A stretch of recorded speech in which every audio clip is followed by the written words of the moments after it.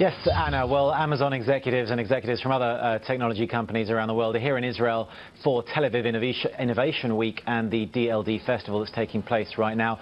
Amazon execs are also here to drum up some business for its Amazon Web Services division. That's particularly popular among the plethora of Israeli startups here because it lets them get all of their software, their apps and everything and what have you up in the cloud on Amazon's infrastructure instead of having to splash out on infrastructure which is very expensive uh, of its own. And that is uh, the main reason why the Chief Technology Officer of Amazon told me last night they plan to set up shop here.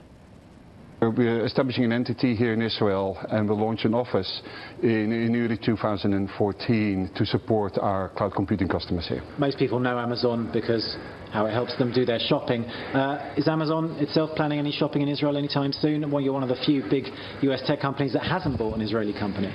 Um, you know, we're always, uh, we're always interested in looking around the world what other kind of things that can help our customers. And so we continue to, to look at that.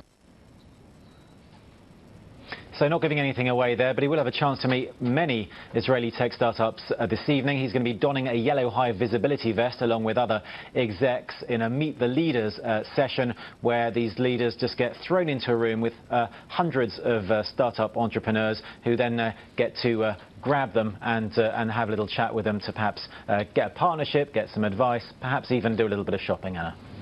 Yeah, so Elliott, will Amazon be following in the footsteps of Facebook then?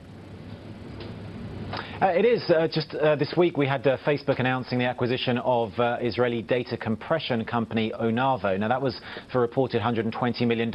In the past, Facebook's made a couple of acquisitions here. It's effectively uh, taken them apart and shipped them and the employees off to Silicon Valley to its main headquarters there. But this time, much to the relief of many here in Israel, Facebook says that this acquisition will presage the opening of its own office here in Israel. So good news all round for Israel uh, after both Amazon and Facebook say they will joining those other companies, those big US tech giants which already have offices here in Israel. Anna.